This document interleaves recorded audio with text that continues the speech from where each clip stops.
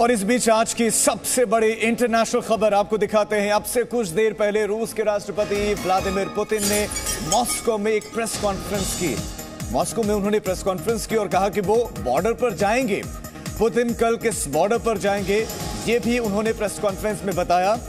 और कल के सैन्य अभ्यास को लेकर पुतिन ने आज मॉस्को में ये प्रेस कॉन्फ्रेंस की थी। बेलारूस के राष्ट्रपति हैं एलेक्जेंडर लुकाशेंको। वो भी सैन्य सभा अभ्यास का हिस्सा बनेंगे। ये भी पुतिन ने जानकारी दी कि वो भी साथ होंगे।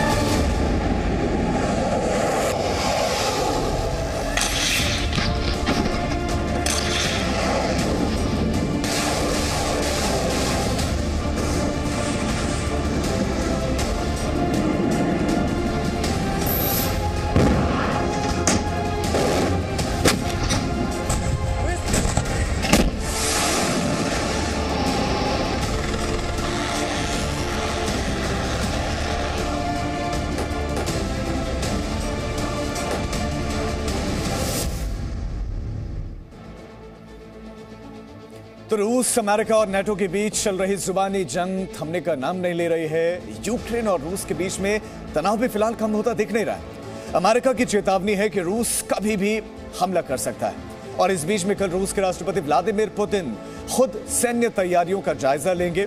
रूस की मीडिया के मुताबिक यूक्रेन से तनाव के बीच में रूसी सेना मॉक ड्रिल करेगी, जहाँ पुतिन भी मौजूद रहेंगे।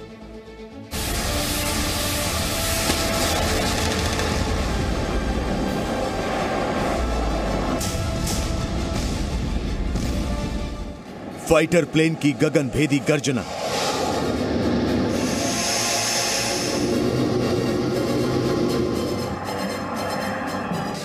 रॉकेट लॉन्चर से निकलती मिसाइलें।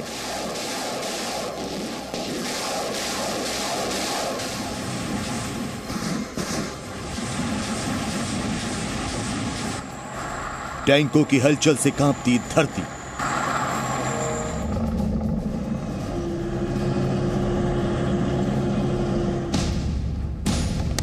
दनादन बरसती, गोलियों की गूंज।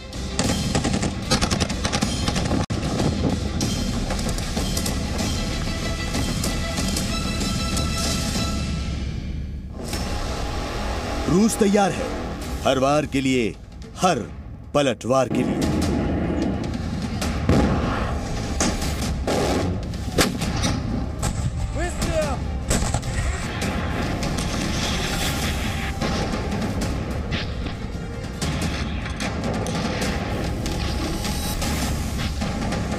यूक्रेन बॉर्डर पर पुतिन।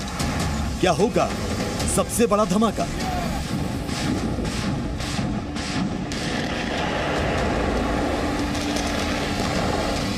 जल थल नभ से।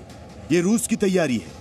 यूक्रेन बॉर्डर पर पिछले कई दिनों से ऐसी ही तस्वीरें सामने आ रही हैं।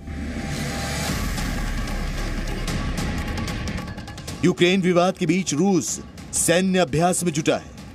और अब शायद सबसे बड़े धमाके की तैयारी की जा चुकी है। रूस के राष्ट्रपति व्लादिमीर पुतिन खुद सैन्य तैयारियों का जायजा लेने वाले हैं। रूस के रक्षा मंत्रालय की ओर से बताया जा रहा है, इस शनिवार यानी कल, पुतिन बैलिस्टिक और क्रूज मिसाइलों के अभ्यास में शामिल होंगे। यह सैन्य अभ्यास रूस यूक्रेन के दक्षिणी बॉर्डर पर होने जा रहा है। रूस के रक्षा मंत्रालय के मुताबिक सैन्य अभ्यास में रूस की एयरफोर्स के अलावा स्ट्रेटेजिक रॉकेट फोर्सेस भी शामिल होंगी Поговорим о региональной ситуации, оценим, э, как, идут, э, э, как идет военное сотрудничество. Сейчас активная фаза учений военных. Завтра вместе даже поучаствуем в одном из серьезных мероприятий вот в этом комплексе военного сотрудничества. Я очень рад вас видеть. Добро пожаловать. सैन्य अभ्यास में रूस की नौसेना का उत्तरी और काला सागर बेड़ा भी मौजूद रहेगा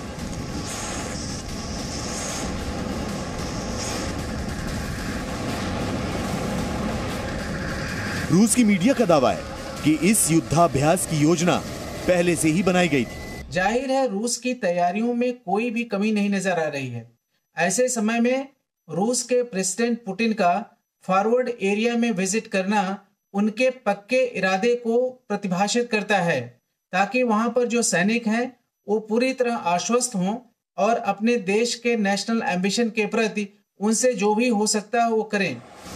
यूक्रेन संकट के बीच पुतिन की मौजूदगी में होने जा रहा ये सैन्य अभ्यास पूरी दुनिया की नींद उड़ाने वाला है, क्योंकि रूस पिछले कई दिनों से यूक्रेन बॉर्डर पर सैन्य अभ्यास में जुटा है।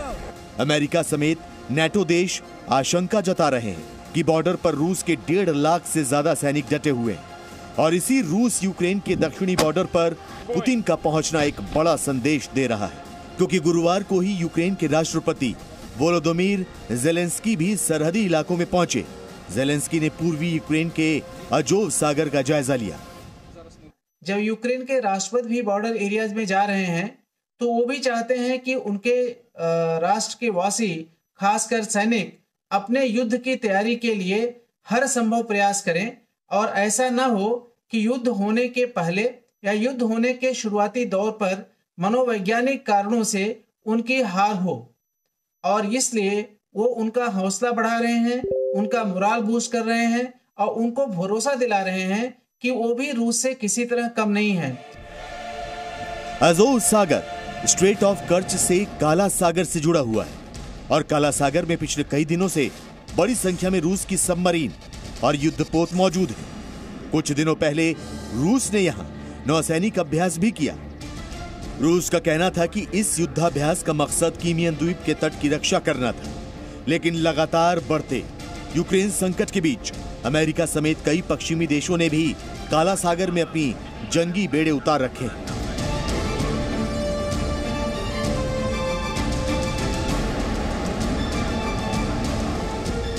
यानी तैयारी एक तरफा नहीं है, रूस तैयार है तो यूक्रेन और उसके समर्थन में खड़े अमेरिका समेत कई देश भी पलटवार की रणनीति बना चुके हैं यानी बारूद के ढेर पर आग लगी तो दुनिया भर में धमाका होना तय है bureau report, Zee media Presenting B News app on Google Play and App Store. Download it now.